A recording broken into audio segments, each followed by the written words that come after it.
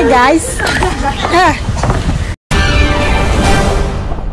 Semua semoga kami di sini dijauhkan dari orang-orang yang jolim. Amin. Amin ya Allah.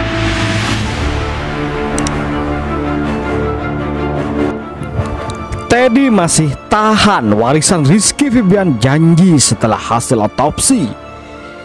Benarkah hal tersebut dijadikan jaminan demi keamanan si Teddy?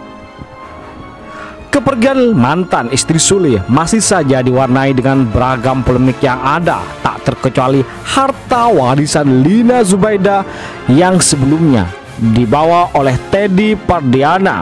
Padahal ahli waris Lina Zubaida seharusnya jatuh pada kedua anaknya yakni Rizky Febian dan Putri Delina. Meski demikian ternyata harta warisan Lina Zubaida sebagian sudah resmi diserahkan oleh Teddy Pardiana kepada Putri Delina. Sedangkan kabar harta warisan Lina Zubaida untuk Rizky Febian hingga saat ini belum muncul ke permukaan. Teddy pun akhirnya memberikan tanggapan tentang hal tersebut menurut Teddy Pardiana. Harta warisan untuk Rizky Febian sudah diserahkan. Namun Teddy Pardiana mengaku beberapa aset masih belum berganti nama menjadi Rizky Febian. Teddy Pardiana juga menjelaskan bahwa nantinya penyerahan harta warisan Lina Zubaida akan dijadwalkan kembali setelah keluarnya hasil otopsi itu udah dikasih sama kunci-kuncinya. Cuma kalau buat balik nama ke AA Iki, kontrakan waktu itu belum ketemu, ucap Teddy Pardiana. Karena emang harus ketemu di notaris kalau itu nanti diskedulkan setelah beres hasil otopsi imbuhnya. Selain itu, Teddy Pardiana menegaskan bahwa semua yang menjadi amanah Lina Zubaida sudah disampaikan olehnya. Bukan hanya itu saja, Teddy Pardiana juga menjelaskan setelah hasil otopsi keluar nantinya akan ia selesaikan semuanya. Terutama bergantinya nama beberapa aset Lina Zubaida yang melibatkan notaris. Oleh karena itu, Teddy Pardiana meminta kepada Rizky Vivian supaya meluangkan waktu untuk datang ke notaris. Kalau nanti amanahnya sudah saya sampaikan semua apa yang harus disampaikan Ucap Teddy Pardiana. Terus kalau kos-kosan sampai saat ini masih belum ada akte jual beli tanahnya. Atau nama siapa siapa masih kosong imbunya. Jadi jika kalau nanti Aiki bersedia Ya saya langsung ke notaris buat pengalihan nama ke Aiki Langsung tandasnya. Karena emang dari sananya surat akte pembelian itu masih kosong sampai saat ini. Jelasnya lebih lanjut. Namun sesuatu yang aneh pun nampak. Dari pelakuan Teddy di mana Teddy enggan menyebut nama Sule saat menjelaskan soal utang piutang Lina Zubaida. Teddy Padiana terlihat tak mau menyebut nama mantan suaminya. Mantan suami sang istri maksudnya yakni komedian Sule. Awalnya Teddy Pardiana itu dihujani pertanyaan oleh wartawan terkait meninggalnya Lina Zubaida.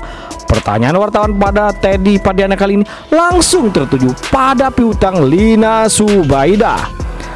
Tak tanggung-tanggung Lina Zubaida dikabarkan mencapai hutangnya, hutangnya ini mencapai kisaran 2 miliar rupiah oleh karena itu para wartawan ingin mengetahui tanggapan Teddy Pardiana terkait hal tersebut. Kang, soal piutang 2 miliar Kang yang katanya masih ada di orang yang masih utang, ucap seorang wartawan. Belum selesai wartawan memberikan pertanyaan Teddy Pardiana langsung menyelanya. Teddy Pardiana mengaku bahwa catatan piutang Lina Zubaida berada di tangan pengacaranya. Itu catatannya udah ada di almarhumah lawyernya ya ada semua ucap Teddy. Jadi catatan-catatan yang dulu pinjam ke almarhum juga ada imbuhnya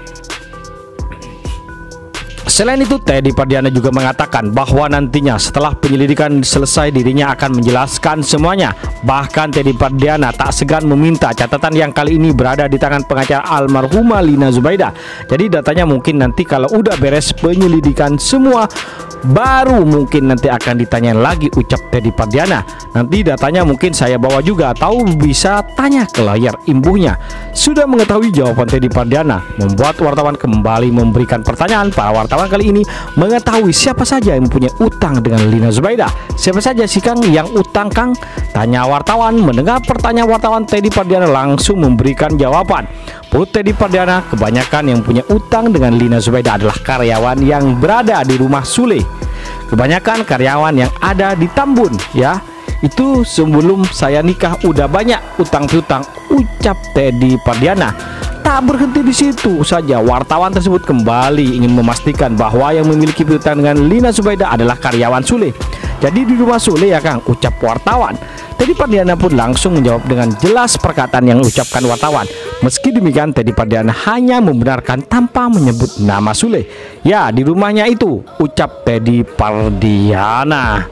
Ternyata guys, selain menahan warisan yang akan diberikan kepada Rizky Febian ditangguhkan setelah hasil otopsi, ternyata juga si Teddy ini enggan menyebut nama mantan suami Lina Subaida Sule. Ada apakah? Bagaimana dengan warisan dan bagaimana juga perasaan Teddy terhadap Sule? Kok masih enggan sih padahal dia oleh kebanyakan orang disebut pebinor perebut bini orang bininya Sule guys.